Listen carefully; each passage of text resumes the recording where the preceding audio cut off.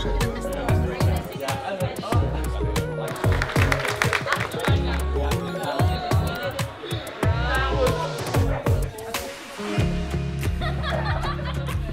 open and ask yourself, reflect, and think about what is this thing that is happening or has happened to me? What is it suggesting possibly in terms of my vocational direction and how I need to be faithful to that?